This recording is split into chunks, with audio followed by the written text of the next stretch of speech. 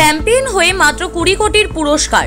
স্টার্কের দামও তুলতে পারল না কে কে আর যদিও নারিন রমনদীপরা পেলেন বড় পুরস্কার। ফাইনাল ম্যাচেই ছটি পুরস্কার নাইট শিবিরে। কে কি পুরস্কার পেলেন? এই প্রতিবেদনেই দেখুন বিস্তারিত।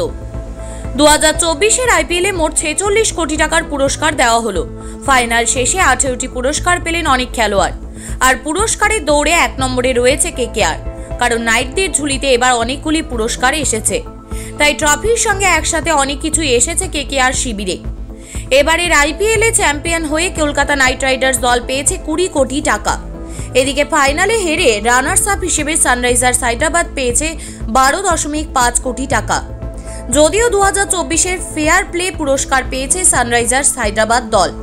তবে ব্যক্তিগত পুরস্কারের তালিকায় কেকেআরের অনেকেরই নাম রয়েছে। যেমন এবার সবচেয়ে দামি ক্রিকেটার হিসেবে ঘোষিত হল সুনীল নারিনের নাম। এর জন্য তিনি দশ লক্ষ টাকার পুরস্কার পেলেন। এবারের আইপিএলের সেরা ক্যাচ নিয়ে রমনদীপ সিং পেয়েছেন দশ লক্ষ টাকা। এছাড়াও ফাইনালে সবচেয়ে বেশি স্ট্রাইক রেট থাকায় ভেঙ্কটেশ আয়ার পেয়েছেন এক লক্ষ টাকা।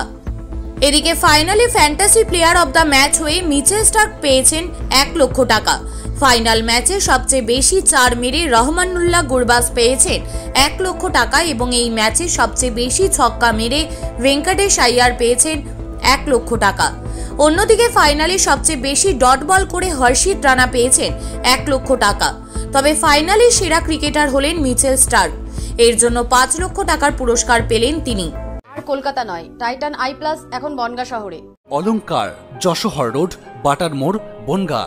যদিও এবার অরেঞ্জ ক্যাপ পেয়ে বিরাট কোহলি পেয়েছেন দশ লক্ষ টাকা। পার্পল ক্যাপ পেয়ে হর্ষল প্যাটেল পেয়েছেন দশ লক্ষ টাকা।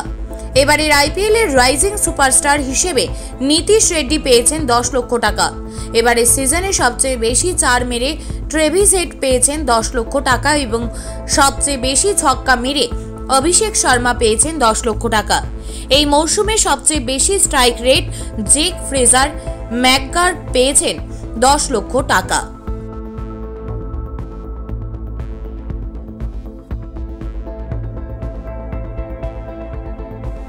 ब्यूरो रिपोर्ट ई समकालीन ये टाइटन का सनग्लास है एंड इसमें पावर्ड लेंस भी लगा सकते আর हैं কলকাতা নয় টাইটান আই প্লাস এখন বনগা শহরে চক্ষু পরীক্ষা সহ সানগ্লাস কন্টাক্ট লেন্স পাওয়া যাচ্ছে বনগার যশোর রোডের নিজস্ব শোরুম সরকার অনুমোদিত হলমার্ক সোনার শোরুম অলংকার গিনি সোনার অলংকারের নির্ভরযোগ্য প্রতিষ্ঠান অলংকার যশোহর রোড বাটার মোড় বনগা